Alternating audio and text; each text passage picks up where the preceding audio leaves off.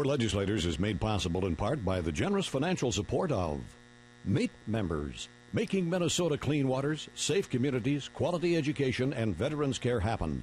We work hard for Minnesotans.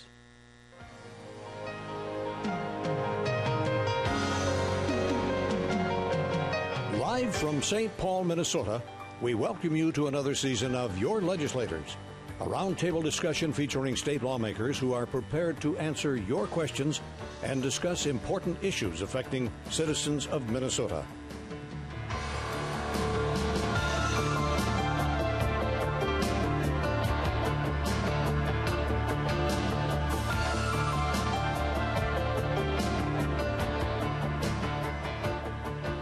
Now, here's your moderator for tonight's program, Barry Anderson. Good evening and welcome to Your Legislators. For over 30 years, this program has been coming into your living room, and we've been bringing the legislators who represent the people of the state of Minnesota to those living rooms to talk about the issues of the day. We're delighted that you are with us for yet another season, and we have a distinguished all star lineup uh, tonight to, to talk about what the legislature may be facing in the next uh, few months. When we were last with you in May, we had finished the end of uh, a very long and difficult winter, and we were looking forward to a week or two of spring and then maybe summer, and here we are back in winter again. But, but we're going to have a great conversation today, and we want you to be a part of it. So we invite you to call in your questions or to send them to us via facsimile. Uh, or uh, excuse me, by email, and then they'll send they'll send them to us by facsimile, and we'll uh, we'll give them to our panel to have them uh, you know, chew over the important issues of the day. We begin this program tonight, as we do each week, by introducing our distinguished panel of guests.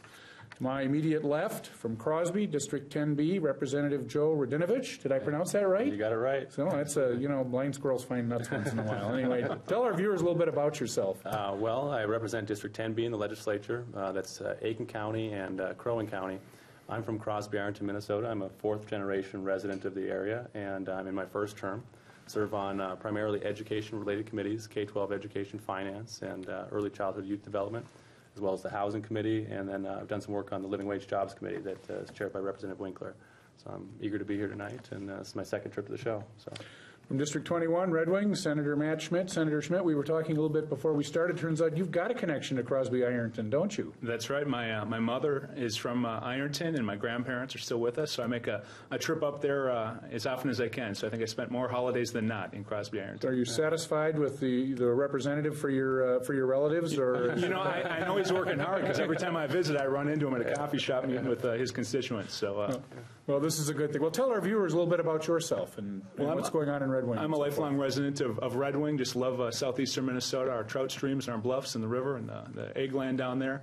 Uh, real, real pleased to be able to serve on, I think, appropriate committees in the legislature with the Agriculture, Rural Development, and Jobs Committee, and also the Energy and Environment Committee uh, and the uh, State Capital Investment Committee. And uh, uh, have had a chance to dig in in all those areas, and uh, and I think we're doing good work. Well, very good.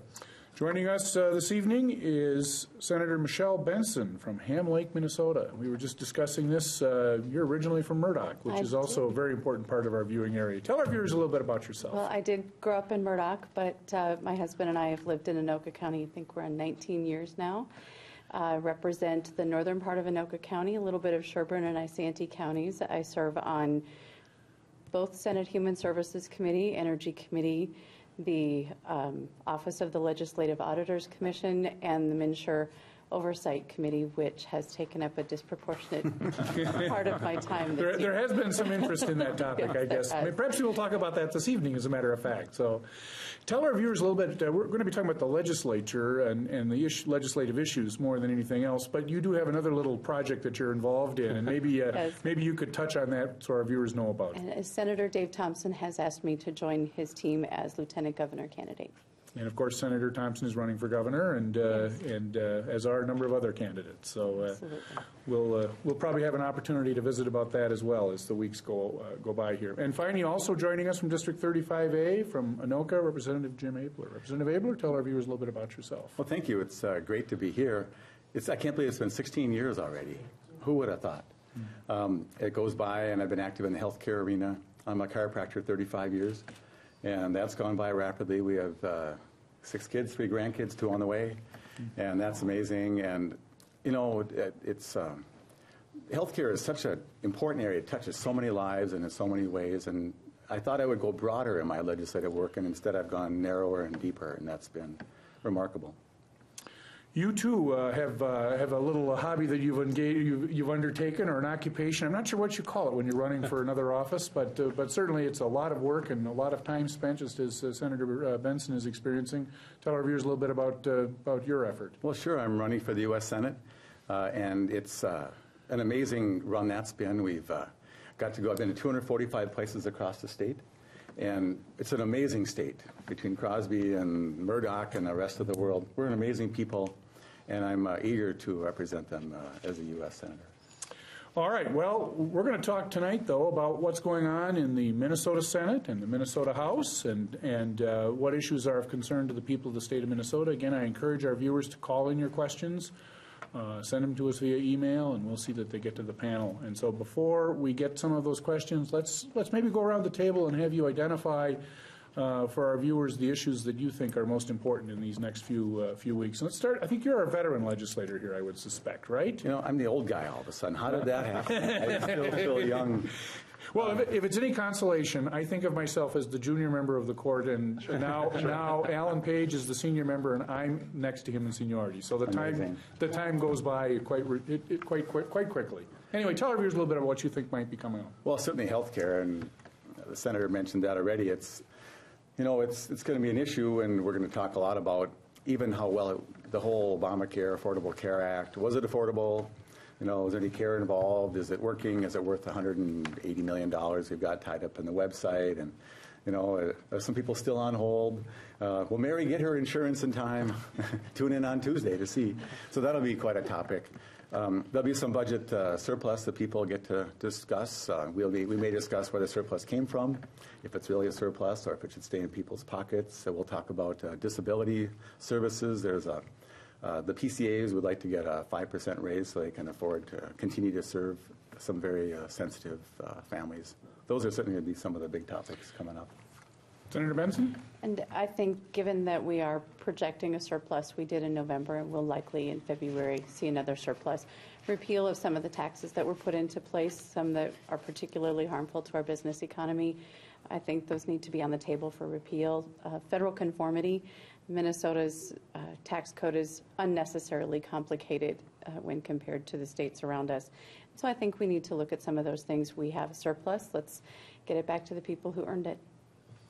Senator Schmit. Well, in 2013, we spent a lot of time balancing our budget, and for the first time in a decade, we have a, a balanced budget, no shifts, gimmicks, or games. That's no minor accomplishment. I think next we, uh, we need to focus on infrastructure and making sure that we're making uh, quality investments in roads and bridges, sewer and water, and also a very important piece of infrastructure that I, I think that we need to talk more about in St. Paul, and that's broadband connectivity. And that's whether it's wireless or, or fiber connections to, uh, to many homes and businesses throughout greater Minnesota. It's an issue I'm very uh, passionate about. Uh, spent uh, a good part of uh, the interim here the last several weeks and months getting around the state, talking to folks, over 20 communities visited. And we, in my mind, uh, that's something that we need to focus on this session. It fits really well into the, the frame of, uh, of infrastructure investments with the bonding bill and also with the governor's call for a non-session. We, uh, folks, we have more references to the telegraph than to the internet in state law right now. And I just think that's unacceptable in 2014. So I think we got to make our state law more, uh, well, it's going to be smarter and, and more apt for the times. telegraph service is not a major issue for this session. That, uh, It's right there with the facsimile. So I, you know, I- That's right. Yeah, it's- I, I, I knew somebody was going to say something about it. I'm revealing my age. I remember when it came in, and this was a major innovation. So uh, that- that's my problem, not yours. Anything else, Senator Schmit? Well, you know, I think we're, we're uh, identifying a number of issues uh, right here. Uh, I know there's going to be a good discussion of the minimum wage. Uh, I think Minnesotans would agree it's, it's time for an increase, and, and what that number is, what's an appropriate number. That's something we'll be talking a lot about. And I, I'd like to have a conversation about transportation finance, too. I think uh, that's an area uh, that, that uh, well, the, the, the, the, the, uh, the unmet need is, is only growing, and we've got to figure out a way to, to, to catch up with that backlog of, of, of needed projects. Representative Radinovich, your thoughts? Yeah, um, well, uh, being the fourth person to talk Yeah. here, uh, a lot of the, the, the prime topics are sort of uh, picked over, but I think the most important issues for me, of course, are the ones that are local. Uh, so there are several local projects that I'm working on in the Crosby, Ironton, and Aitkin areas. Um, uh, things where uh, wastewater infrastructure and um, you know the, the type of things that uh, we, we could see in a bonding bill investment in uh, airports, uh, in uh, the college in uh, uh, Brainerd there, Central Lakes College. So Um, I think that those are some of the things. Of course, uh, the big ticket things that we're looking at this year are the minimum wage, and uh, there are a lot of Minnesotans out there that will be impacted by an increase in minimum wage. The House passed an increase of 950 uh, that, in fact, uh, that would uh, benefit over 200,000 Minnesotans if we raised the wage at that point.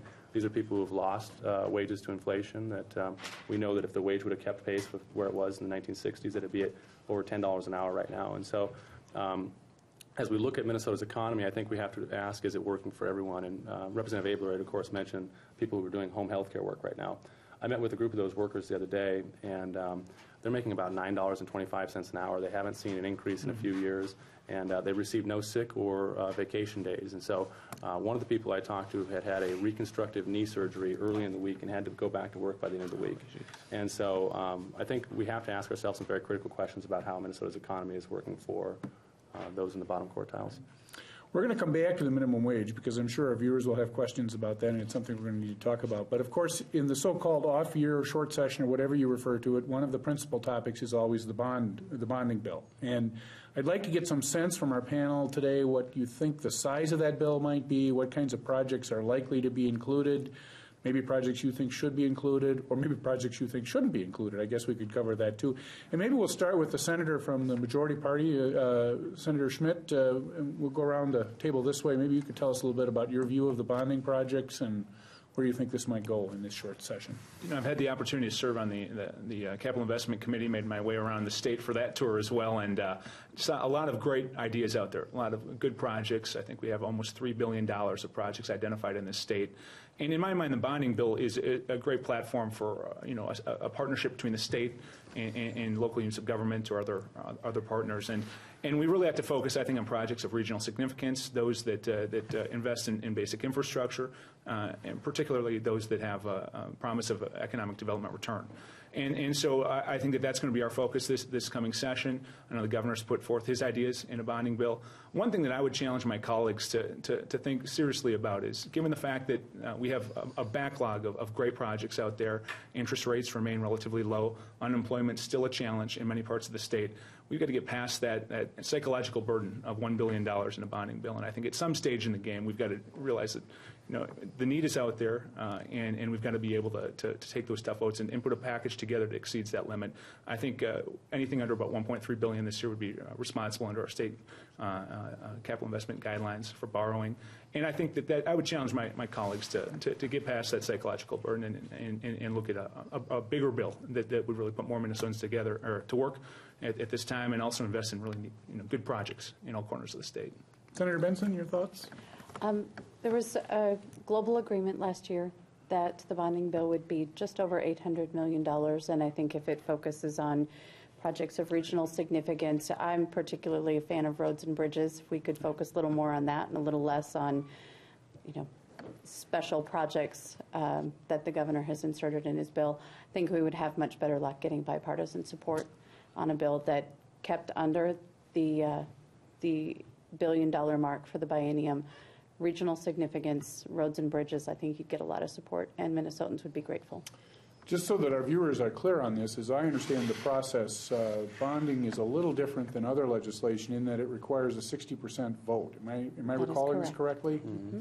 So it's, uh, it is one of those issues where there's going to, there, there will of necessity be some across the table communication and, com- and uh, conversation about that topic. Representative Abeler? Well, it's, um, let me just back up a little bit about that cross the table discussion that we need to have. Um, either side, when it has the majority in either body, tends to enjoy that position it has, and, and it's uh, winner take all sometimes. I've seen that in my now 16th year. And good laws don't happen from winner take all. Uh, the Affordable Care Act, Obamacare, was all one side.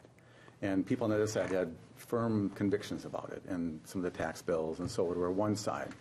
And some of us in our time have tried to find ways to bridge gaps and work together, and, and it's a real effort to do that. On the bonding bill, I think it's important for the majority party to recognize that some people in the minority really have strong feelings about some of the quality of projects that go in and the size, and they're interested in helping Minnesota thrive. But at the end, they just don't believe it to be true. And this is the one place in a divided legislature, or no, in an all one side legislature, that the minority party has a say. And I hope as the process unfolds that people recognize that. And last time that wasn't recognized, and a bill failed in the House uh, unnecessarily that uh, was not agreed to. And so, people, as I've traveled the state, just in general, people want us to work together and get things done and figure it out and keep it off their back and make it solid. And, and the best work we've done ever in my 16 years has been when both sides have said, let's go solve this problem. Let's never mind who gets the credit. And this bonding bill, as it goes forward, as uh, summarizing the two senators' points of view, we can get a really good bill put together if we recognize the wisdom that the legislature has and there's a collaborative spirit. That'd be a nice thing. Do you have some thoughts about specific projects that, uh, that you think should be included or not included, or? Yeah. It's, I think it's important to really have the term regional or statewide significant. I've seen a lot of interesting projects show up in, in bills that are of city-wide interest to somebody's city. Uh, um, there is a Highway 10 is a real problem for our area between Anoka and St. Cloud, and there's a, a need for a bridge in the city of Ramsey, which is my district. Um, but that happens to, uh, it's, it's a city need, but it's a whole corridor that's just so congested. Try to go, well, try to go to Aitkin Oh, yeah. on Friday night, and you'll, yeah. Tonight, If you're trying to avoid 94, that's one way to do it. Yeah. yeah. So that's something we're talking about, because it actually, uh, just uniquely, my city, uh, Ramsey, has four main thoroughfares, all bisected by a train track. It has no uninterrupted, if a train comes by, the fire truck can't get there to put out the fire, the ambulance, and so. And so everybody, this is, you know, arguably regionally significant, and it seems popular. And everybody wants to serve their district and look after the wastewater and all that. So, but I, I hope that respect can rule as we go through this process on this topic, and that's what people want us to do. Representative Radinovich? Yeah, um, well, Representative Abeler uh, talked, you know, I I think very wisely about um, bipartisan support for projects and uh, projects of regional significance. And in our area right now, uh, Representative Ward and uh, Senator Ruud, who's, you know, our partner in the Senate, uh, we're from different parties. Uh, Representative Ward and I are Democrats, Senator Ruud's a Republican. But um, we just sent a letter to the governor a couple weeks ago encouraging him to take another look at uh, the Brainerd Airport. I mean, that is certainly a project of regional significance. Uh, They've got a problem with the wastewater infrastructure, or excuse me, the, uh, the water infrastructure out there right now. The fire marshal said that it's not um, sufficient to support uh, an emergency situation. Um, The Chamber of Commerce and the Economic Development Corporation up there have come together uh, with the support of the uh, legislators from that area.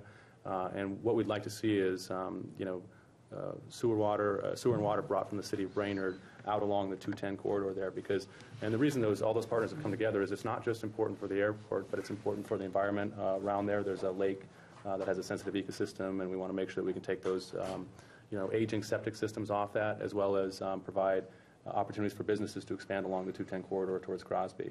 And so I, I think that that project, you know, fits the bill, and that's something that we're working on uh, as a bipartisan team to, to make sure that we can, you know, try and get that funded in the bill. Other thoughts on bonding before we move on? If not, we'll move on to. Well, just a thought in general, and I, I think it's important for people from one part of the state to recognize the other state is an important part of the state. And uh, on, the, on the worst parochial days, what's my backyard, what's my little district look like? Um, but it's important to keep outstate Minnesota, greater Minnesota, open. And um, some people from the metro don't get that. I've been exposed on so many times in the last six months, like, wow, I didn't know you even needed that out here. and it's, uh, it's been very productive. I think if everybody could get around the state, it would be better. So let's talk about uh, in- uh, the issue that you mentioned, and maybe we'll start with you, Representative Radinovich, which is the minimum wage. And uh, of course, that was a very controversial topic last session. Didn't happen. Going to be on the table uh, this session. Uh, Maybe you can tell our viewers a little bit how you view the topic and where you think that figure might land in terms of what you'd like to see, and we'll kind of go around the table here and have some conversation about this. Yeah, um, so I, I voted for the minimum wage coming out of the House at 9.50 last year. Uh, the senator, the senators here uh, know that their bill was 7.75, and you know they'll have an opportunity to speak to that. But I think that we need to have a number closer to 9.50. Uh, if you look at the minimum wage, as I had mentioned earlier, tied to inflation uh, from the 1960s, it would be at about $10.75 an hour right now. And uh, if you furthermore tied it to productivity at that same point in time, uh, it would be in excess of $15. And so what we're seeing is that the American worker is much more productive than they had been before, but the wages have remained stagnant. And I think that we can feel that in our towns and cities. Uh, 60 to 70 percent of the, the students in my district are on free or reduced lunch, and it speaks to the economic condition of their, their parents. And we understand the effects of poverty uh, on the outcomes of uh, children in school. I um, personally also, you know, think that if you look at working full-time at uh, the minimum wage right now, you'd make about $15,000 a year. And so we're subsidizing companies who pay wages that aren't sufficient to support, um, you know, their workers on uh, by providing assistance to them. And I think some of my friends on the other side of the aisle might say something about raising taxes and the disincentive that provides for hard work. And I would sort of pose the question, well, you know, if you could work 20 hours a week or, or 60 hours a week and you're still, you know, one car bill away from being wiped out or, you know, one, one medical bill away from being wiped out, or if you, you know, uh, work 20 or 60 hours a week and you still can't, um, you know, provide the basic things for your family, then um, you know where is your incentive for hard work? And so I think that we ought to make sure that we can connect the work, the idea that uh, full-time work uh, should mean that you can support yourself and your family. Uh, I understand that you know even at 950, uh, it's going to be difficult to do that, but if we don't start to have that conversation, if we don't start to try and rectify the situation that we've seen over the last 30 years, uh, we're going to have a growing disparity uh, between uh, people in Minnesota, and we're going to have more children who are, you know, uh, receiving services and uh, being affected by that. You know, a lot of attention's been directed on uh, and towards the issue of income inequality in, in, in Minnesota, in the United States, and there's only so much that we can do as policymakers to address that. I mean, we can look at the safety net for helping folks out who are struggling, but more and more you're seeing hardworking families in Minnesotans uh, struggle to get by despite working full, full uh, uh, work weeks. I just had an opportunity to, to meet with uh, Second Harvest Heartland today, and they shared some interesting information about uh, folks who are utilizing you know food shelves in my district. In, the growest, uh, I'm sorry, the uh, the strongest growing segment of my you know uh, district that's uh, tapping into to food shelves are working families, working adults. And I think it just speaks to the, the struggle that a lot of Minnesotans are facing right now. And so, you know, I believe in a, a strong safety net that's appropriate, that's accountable. But I also believe that this is one of those votes with the minimum wage where we, where we can take a stand and say, you know, working Minnesotans need to be able to, to, to make it in this state. And uh, darn it, our, our minimum wage is below the federal minimum wage. And there's discussion at the federal level of raising its wage. And so I, I'm very optimistic that the Senate and the House are going to be able to, to strike a compromise. I, I certainly believe that the the, that the House position is, uh, is, is more in line with where our, our minimum wage should be in Minnesota. Uh, we have to be respectful of, of challenges faced by border communities and others. But on the flip side, I think this is a, a chance for us to say there's a problem out there with income inequality, and this is something that we can do. Uh, I, I want to listen to businesses, I want to listen to employers, but at the end of the day, this is one of those those opportunities for us to say there's a, a wrong and, uh, and an ill in, in, in uh, public life, and we, we can do something about it. Um, It's interesting, only 5% of people who earn minimum wage are head of household. And so what if we took tho- those 5% and used the, the job training programs that we have at the federal level and the state level and said, instead of just giving you a little bump so that you continue to live on the edge, let's make sure that you get trained for critical jobs that we need. For example, in greater Minnesota, we are terribly short welders and metal workers. Um, our healthcare industry is facing a crisis. We don't have enough people going into basic care services. And so, what if instead of taking away the opportunity for teenagers to get that first job where they clear tables and they learn how to get there on time and punch in on time, instead of making those jobs more expensive, why don't we focus on the people who really have a need? And then the other question that I never hear answered lifeguards at the YMCA, 16 year old lifeguard, starts at $9.25 an hour. If we raise the minimum wage to $9.50 an hour, those lifeguards are going to get a bump. Where's the YMCA going to get that money? They're either going to have to reduce programs, they're going to have to raise fees for people coming in the door. No one ever talks about where the money comes from. So while we can all have compassion for families that are struggling, and that is appropriate, we should focus on getting them the education they need so that that mom and dad can really take care of their family and can launch themselves and set an example for those kids that says you can do this. You can go to college. You can achieve and you can take care of yourself. Stand on your own two feet. And i think you would get a lot of republican support for going to federal conformity. Um, i think that puts us on a level playing field with Federal a lot of conformity other would states. mean, you'd mean the, the level of the, the Right. federal minimum wage. A lot of our large employers are already there.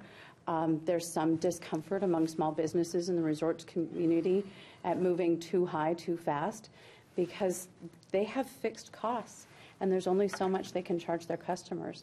And so the question is, where does the money come from to pay for the increase. It's good to be compassionate, and it's important. I'm, we're on human services committees. We see what people go through.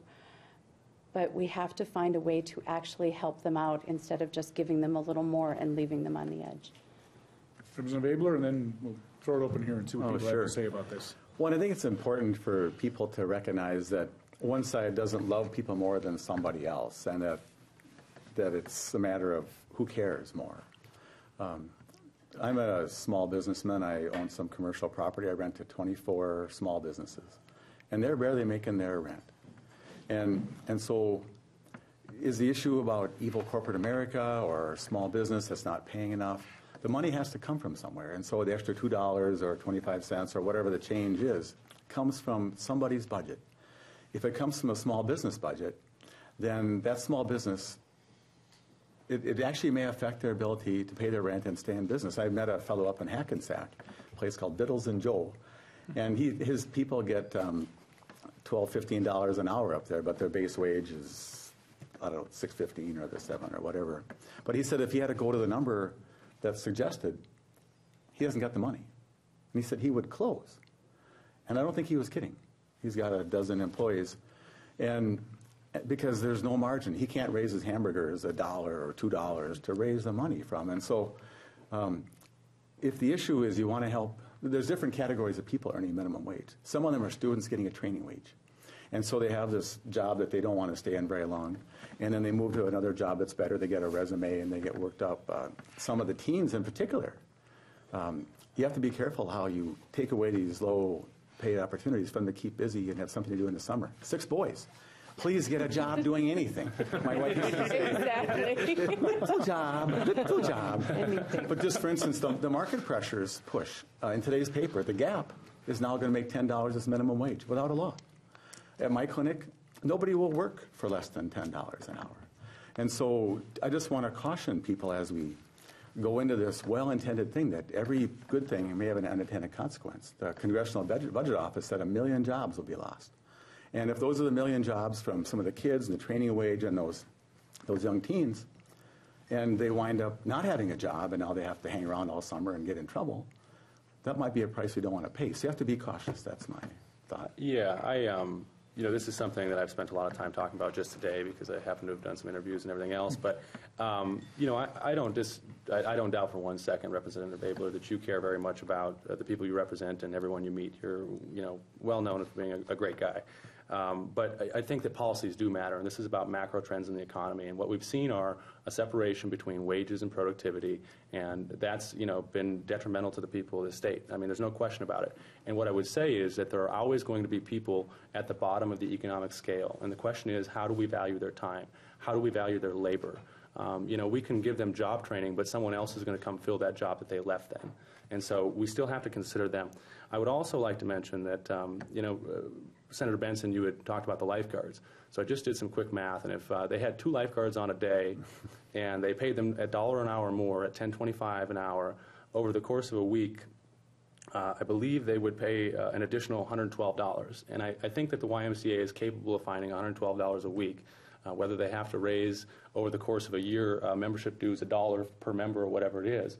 But I mean, the argument is that um, low low prices should be predicated on the low wages that we pay people. I don't, I can't accept that. You know, I mean, if you look at a, a grocery store and what's happened, and this is an example of productivity. So 20 years ago, you used to have somebody who would bag your groceries and check you out. And now, uh, you know, if you look at, you've got a, a bay with four self-checkouts and one person standing in the middle. And so why isn't that person experiencing any of the growth and productivity? They're still getting paid essentially the stagnant wages. And that's the issue for me. And just this, uh, I think last week, 70 leading U.S. economists, including seven Nobel laureates, came out and said that uh, there's, you know, the weight of the evidence suggests that there's a negligible impact on jobs and that there is a stimulus effect in local economies from paying those people more. So while you're- the gentleman up in Hackensack might have to pay his workers more, it means that they can spend more money in the town, too. They might be able to go out and enjoy a hamburger every once in a while, too. So I think it's absolutely essential that we raise the minimum wage, and I think it should be 950 uh, and, and not a cent less personally, but uh, we'll see what we can work out with the Senate. And frankly, my Y on Sundays has eight lifeguards on. And for swimming lessons, there's more than that. And so the, it, your math might work, But the question is, who gets to make that choice? Who, should the legislature dictate to the YMCA that they must bump? If you have minimum wage at 7.25 an hour at the federal level, I believe, and you bump to 9.50, then the lifeguards go up much more than a dollar. They go up $2.25 because if if a person bussing tables has the same relative value as someone who's trained to save people's lives, administer CPR, and deal with emergency situations, those people are going to get a bump. The impact of the minimum wage is to continually bump up wages through the economy. That's a very real impact, and it's rarely calculated in. And so that's why small incremental steps are much more palatable to business because it gives them time to adjust their infrastructure. And taking a leap to 950 i- is probably going to be detrimental to a lot of those small businesses in Hackensack and in greater Minnesota. I just, it's 950 by 2015, and the minimum wage isn't something new that's, we're, we're just freshly debating here. I mean, the minimum wage has been raised dozens of times since the 1950s, and there is a weight of evidence that sugge- suggests that there is a negligible impact on jobs and a beneficiary impact on the lives of the people who are making the additional wages. Now, my numbers assume that there were two lifeguards per day, and I, we're sort of getting into it. But the, the bottom line is, is that not Like every, word not every commodity, not, yeah. Lifeguards. not, not every commodity, not every uh, service relies on minimum wage employees. And so, you know, not everything, there's not a, a total inflationary impact of that because not everything relies on minimum wage services. And if I could just add, you know, I think this is an opportunity for us really to, to make a statement that in Minnesota, work should pay. And uh, I, I respect your, your concerns with uh, how far we go and how fast we get there. But I think that the, the, concern I've heard today, it really speaks to, uh, I think, a, an effort to maybe index the minimum wage and, and, and, and provide some certainty for, for employers and for uh, laborers in, in Minnesota's economy that, that we're on a, a, a slow growth curve moving forward and that, uh, that if you're going to work hard in Minnesota, you're going to be able to, to raise a family and get by, and not just get by. I couldn't agree more that we need to invest in education. We've got to make sure that we've got infrastructure for the 21st century and that we play off our strengths in human capital. But at the end of the day, we've got to make sure that folks are, who are working in particular are able to, to eke out a living in this, uh, this economy. And uh, darn it, you know, I, I don't think the fact that we've failed to raise the minimum wage in the past should keep us from doing what's right in 2014. Well, let's move on. We'll probably have a chance to talk about, more about the minimum wage. Certainly, certainly not if, not in this program. We'll keep pick it up in future weeks. There's no doubt about it. Come up again. It'll probably come up again. So, so we have a question from a viewer who's paying attention to our Facebook page. Now, notwithstanding my earlier reference to facsimiles, I'd love to talk to you about quill and parchment because that's also an area that I'm an expert at. Oh, nice. But, but we also have a Facebook page. It's all over your hands. So. Right, yeah, that's right. It's That's the, true. the ink in the bottle. Yeah. But I do want to remind people that we do have a Facebook page, and we can be reached there as well. And our viewer from uh, our viewer on the Facebook page has a question about our pension uh, plans, and particularly state uh, pension plans. Wants to know if there's going to be any discussion about that. I think this viewer thinks that uh, the uh, assumed rate of return is too high. Is concerned that uh, these plans are underfunded, and you know, what are we going to do about that problem? And so is there going to be discussion about pension plans in this short session? We had a- some discussion last year. What- What's the program? Anybody know? There, our pension plans are facing some challenges, um, and in my opinion, the rate of return has been set too high. It was lowered, and it's going to be bumped up, um, I think, a little imprudently. Um, But they're talking about rolling, I believe it's the Duluth teacher's pension, into a statewide pension. And so there will be an opportunity to have these discussions um, to look at whether or not we're being realistic about our rates of return. Um, There was significant reform that started impacting in 2010 that did a significant catch-up on pensions, but we're still at a gap, I- I want to say the gap 17%, but I I wouldn't be quoted on that number at this point. It's been a while since I've looked. Anybody else want to talk about that topic? If not, we'll If you move on. talk too much, you have to go to the Pensions Commission. I'll just offer you. No, I'm not running for the commission. Um, But I think uh, we should keep the promises we made to people. Yes. And especially, um, this, the once the state's in charge of some of the state employees, and some of the people who work at my treatment center in my district, Anoka, they work for pretty modest wages, and they're kind of counting on this, this um, modest pension, which seems like a lot to them, which we need to protect. But this, um, it's kind of arcane, this rate of return business, but the higher you presume the rate of return will be, the more funded the pension seems. Oh, look, we're good. And so I think it's important to be realistic, but I, but I, I think it's important, again, to have a good dialogue where we appreciate the value of the employees that we've been paying in our state uh, and what they do, and then make sure that we make promises that are sensible, but are, that we will keep them. Yeah, You have to keep the promises you yeah. made. Viewer from Cottage Grove wants to talk about a topic that has been in the news, MNsure. Caller had difficulty signing up through the automated system and ended up with her son on medical assistance, which was not her intent, and having problems getting this fixed. Is anyone working on this? Who wants to talk about MNsure? I guess we'll pick on you, Senator Benson. We'll That's start with fine. you. That's just fine. Um, MNsure has not rolled out well, and it has been exceptionally expensive and painful for Minnesotans. It has not accomplished the goal of reducing the number of uninsured. It hasn't made care more affordable or more accessible. Our premiums in the state all went up. We have very high deductibles and really narrow networks, including pharmaceutical formularies and restrictions on what medical devices you can use uh, within your MNsure networks. Um, And so structurally, not accomplishing its goals. People are working on it. We changed directors, and Commissioner Scott Leitz, I believe, is a very sincere man. He's exceptionally hardworking, um, but he is bringing in some outside ep- experts, and they'll the selection will be made next Tuesday as to who new, the new oversight contractor will be. Now, we don't have a plan to pay for that, and MNsure is structurally in deficit starting in 2015. So there's a lot of work to be done. And as far as the consumer side of things, um, they are starting to improve some of the customer experience call times are going down, but a lot of that's because the broker community has engaged and is assisting people getting through MNsure. Our counties are really struggling because once you put somebody into the medical assistance program, you literally can't change. If they move, you have to write down and contact the insurance company to get their insurance card sent to the correct address.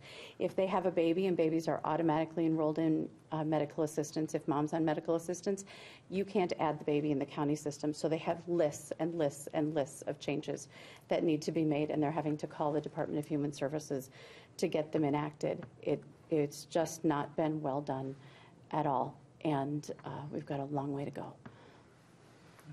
Other thoughts? You know, it's hard to, to, uh, to defend the rollout, and uh, I don't think anyone was uh, prepared for the transition here initially.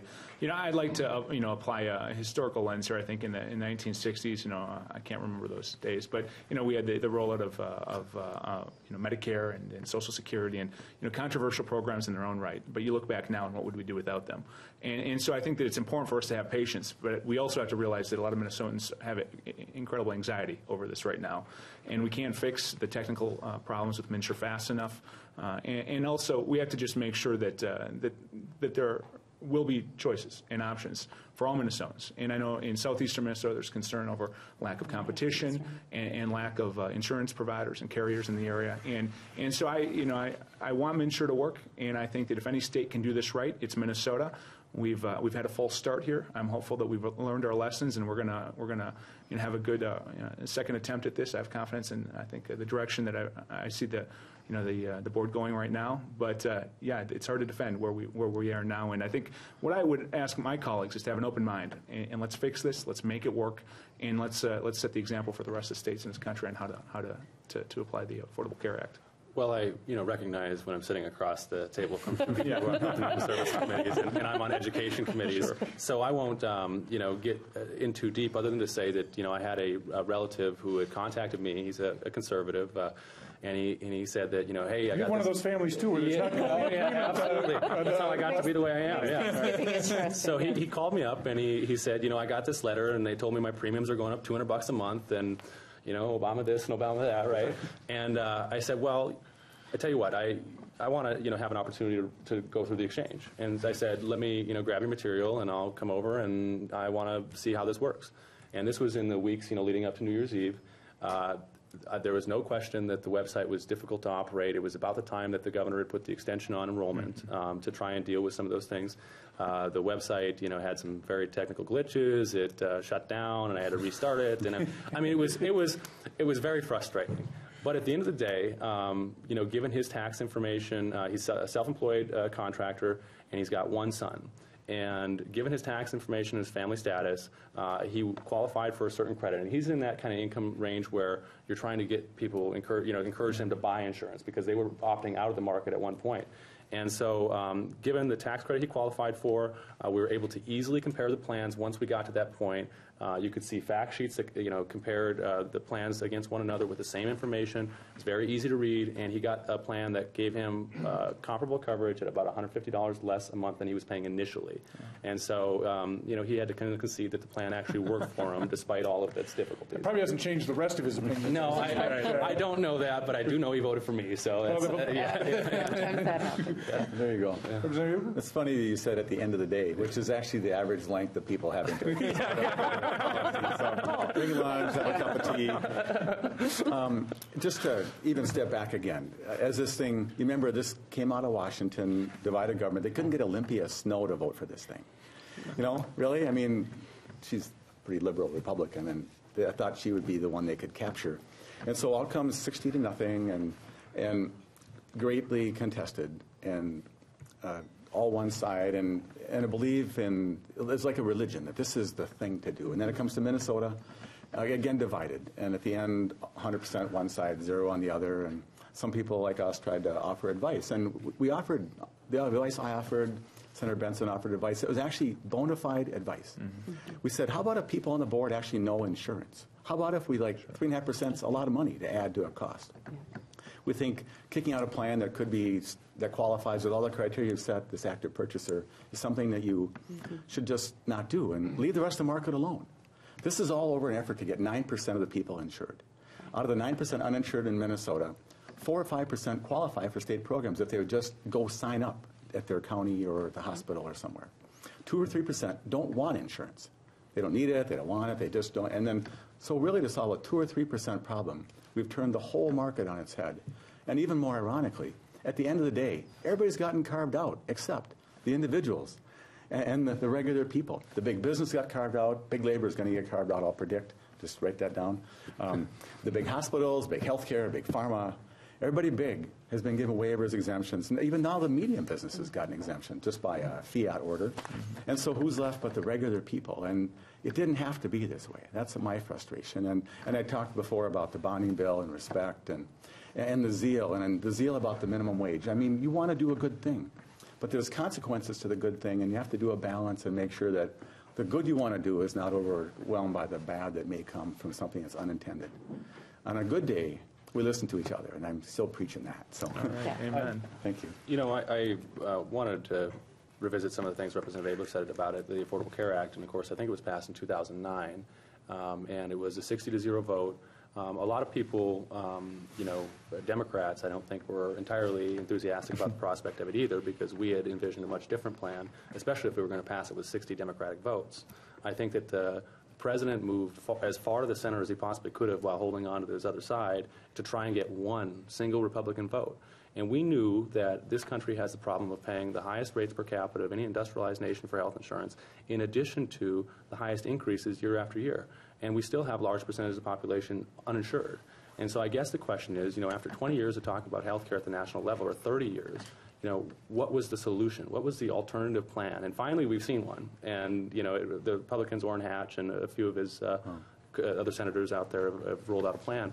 But, I mean, what was the alternative? And then once it was turned over to the states after 2009, there was an entire legislative session where uh, Representative Abeler, you were, you know, very involved. And I guess the question in my mind is, you certainly would have had a lot more leverage to negotiate with the governor at that point in time over uh, an exchange that was more to your liking. And why didn't that happen? Well, I firmly believe there's an ex- there's not an exchange we could have built that would have passed muster with Washington. Just paying attention to the rulemaking that has come down since this law is enacted is mind-boggling. You cannot keep up with it. And the rulemaking now that they're putting on a Minnesota Care Plan is actually bankrupting the plan.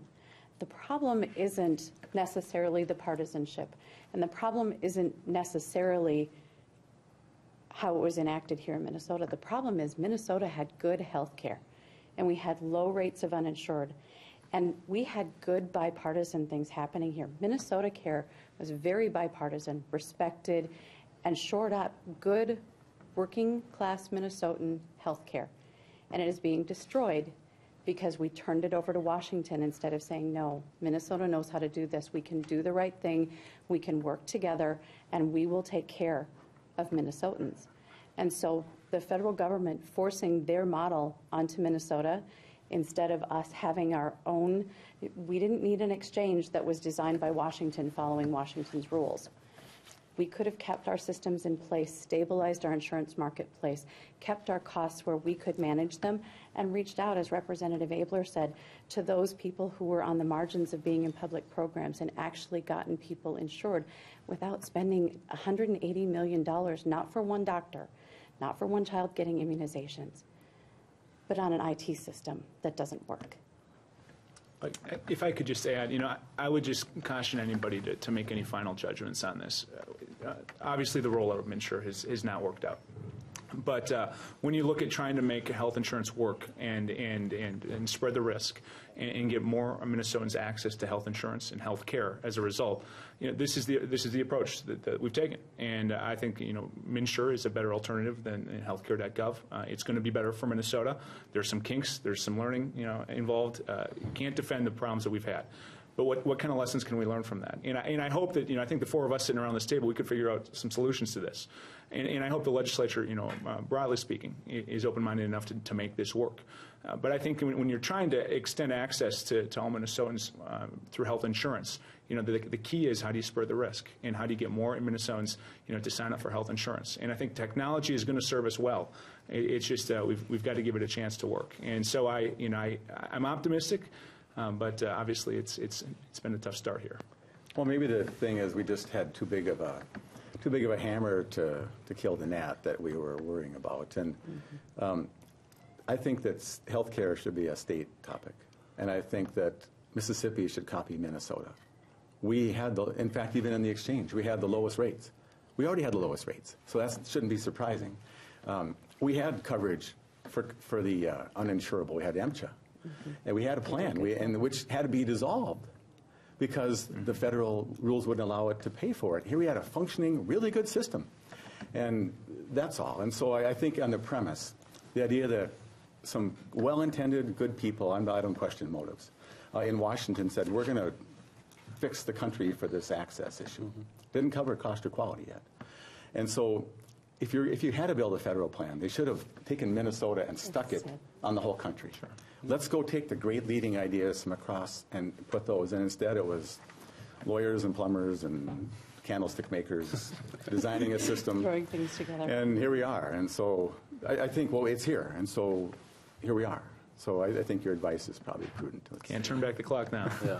A viewer from uh, Clearbrook and a viewer from Bruton want to talk about uh, budget surpluses. The viewer from Clearbrook says, why raise taxes when we've got a $1 billion surplus? And the viewer from Bruton says, um, what are the odds the 2014 legislature can resist the urge to spend all that money, instead put some of it away in a solid rainy day fund?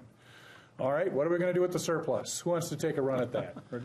Representative? Um, So let's assume, you know, for the sake of argument, that the February forecast, which will be next week, assumes that there's about a $1.1 billion surplus. Um, Right now, and who knows, it could be more, it could be less, but um, that's what we're working with based on the Fe- the November numbers. Um, I think that, you know, it's good to stock the rainy day fund, but we should keep in mind that the previous legislature, I think, faced, uh, faced about a $6 billion deficit. And so, I mean, you, you could apply that rainy day fund in one fell swoop and have it wiped out, and then there you are. You know, so if you have uh, disaster, emergency things come up after that, you still have to consider it. Um, I, I think that there's going to be a solid discussion about uh, the business-to-business taxes. Um, I'm in particular favor of uh, examining the uh, farm service repair tax uh, and also the broadband uh, or the, the telecommunications equipment tax, which impacts broadband development in rural uh, places in Minnesota. Um, I think that, uh, you know, if, if I anticipate what my colleagues across the table might say, it's that, uh, you know, you, you raise taxes too much and then you should give the money back to them. Well, I think that um, after in eight of the last 10 years, we've faced budget deficits, and we've responded in nearly every instance with cutting. Uh, that's what the axe on your shirt came from, as I remember. yeah, yeah, in the Health and Human Service budget. I mean, we've cut billions of dollars, as you well know, and um, that's, that's adversely impacted uh, schools across Minnesota, local government across Minnesota. In that time, we've seen property taxes double. And so a cut isn't really a cut if you just shift the cost onto someone else. Uh, an example of that, you know, is in the K-12 budget, or in the uh, higher ed budget, where uh, students are now paying two-thirds of their tuition costs instead of a third just a generation ago. And so you can't just, I, I think, um, assume that from here on out, we're going to run budget surplus. I think that we are going to, you know, deal with uh, some cycles like we've dealt with in the past, and I think that we should be careful in how much of the money we send back. I, and personally, you know, um, if there's going to be some back, I think that we should maybe target it towards a middle-class tax cut and, uh, in effect, make the tax rates in Minnesota more progressive. Representative Abeler, your thoughts? None of the money in the budget is free. It didn't fall out of the sky. Uh, we also rely heavily on federal funding to support our budgets. And if you add up all the budgets, the health budget that's supporting the Minnesota Care Change, it's going to be short by a billion four come 2021. And that's not baked into the numbers. So just to point out that, that there are some of this, this, uh, these challenges coming to us. Um, it's really tempting to take money that you have and buy things that you want.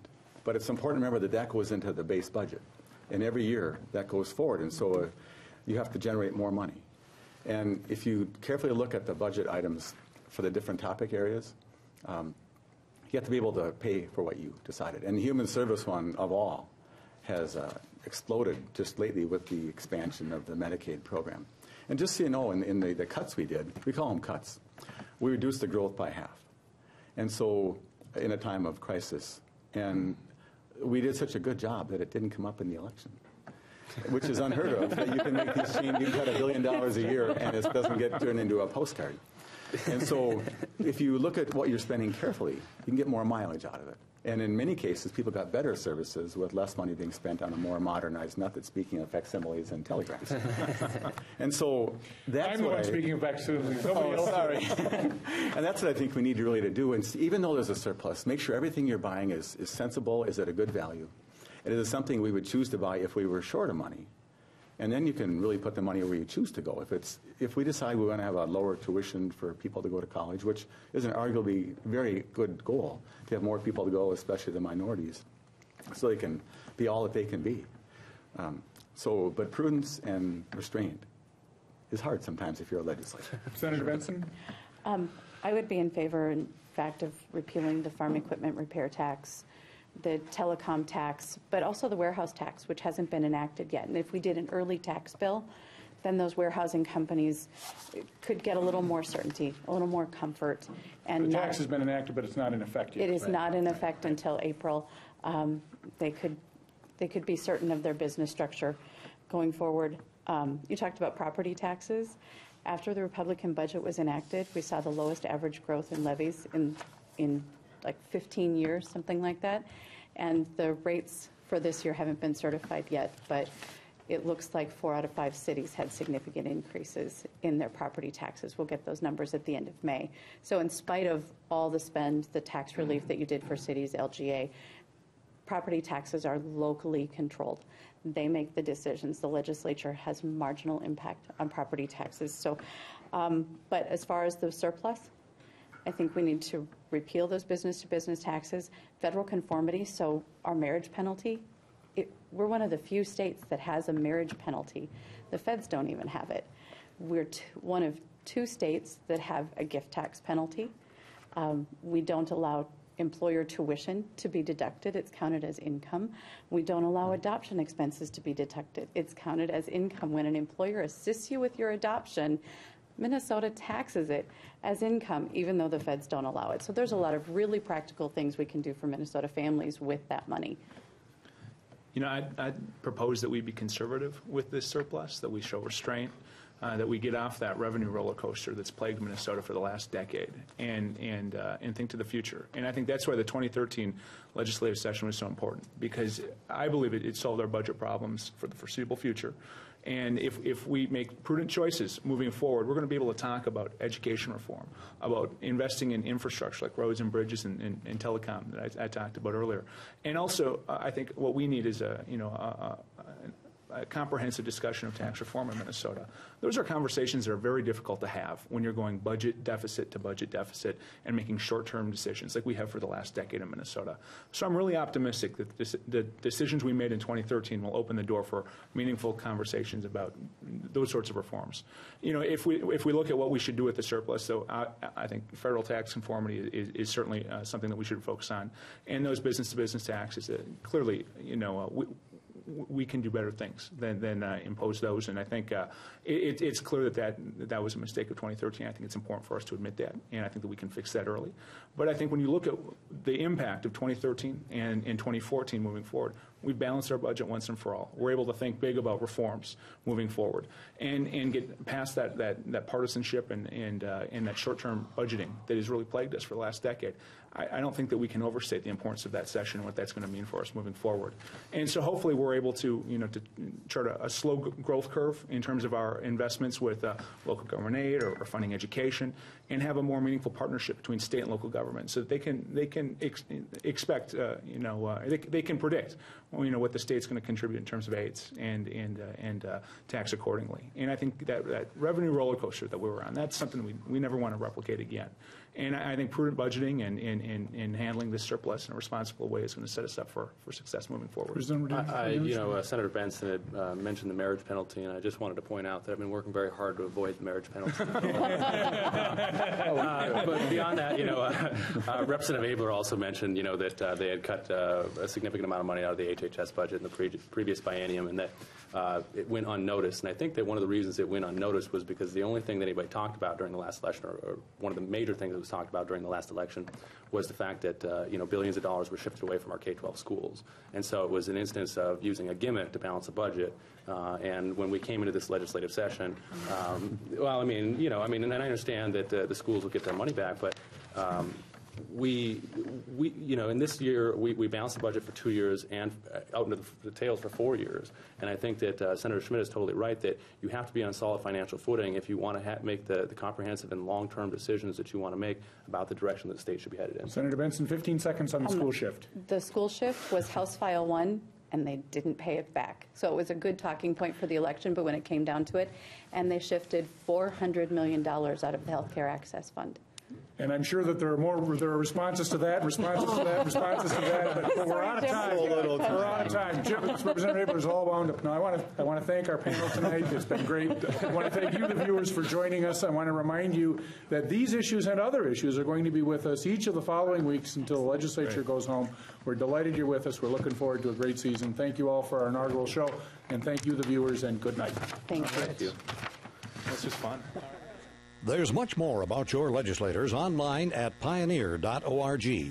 Find out more about the history of the program, who's been a guest, and watch all our past episodes. There's also a photo gallery, informative links, and much more. You can also get involved and stay in touch by following us on Twitter and join the discussion on our Facebook page. Thank you for watching Your Legislators. Your Legislators is made possible in part by the generous financial support of Meet members, making Minnesota clean waters, safe communities, quality education, and veterans care happen. We work hard for Minnesotans.